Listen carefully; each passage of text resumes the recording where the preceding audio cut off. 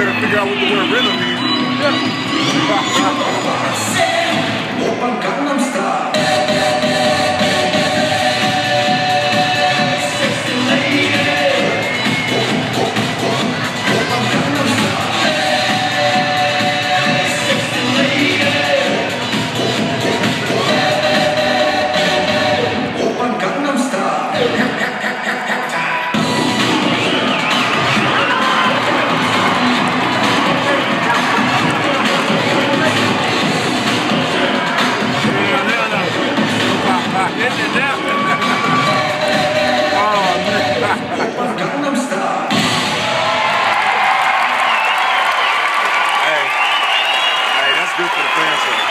Ladies and gentlemen, the